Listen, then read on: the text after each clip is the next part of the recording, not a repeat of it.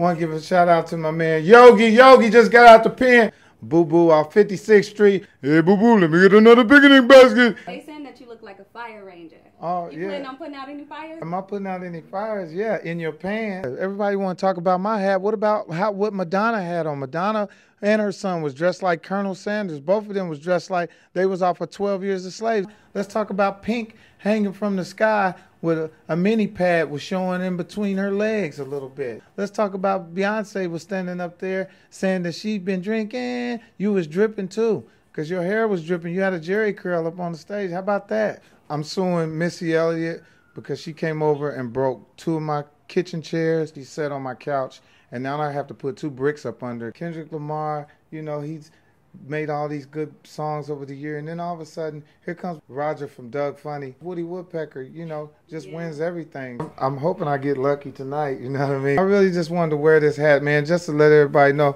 the Rangers in the house, bitch. It looked like Beyonce jumped straight out the shower and jumped on the stage, so, you know, Balsam and Balsam. Shout out to Balsam and Balsam for your hair.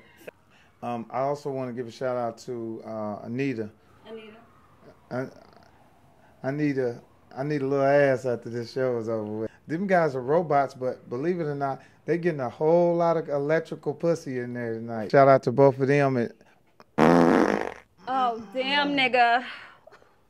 I know this Grammy food is crazy. It's crazy out here. You- Damn. You, know, that's how I stay young looking is because I let it go because gas will kill you. You know what I mean? And that's why I got my hat on. Hey, what's up, everybody? It's your man Mike Epps. Thanks for subscribing to my channel and be looking out for some more. You whore.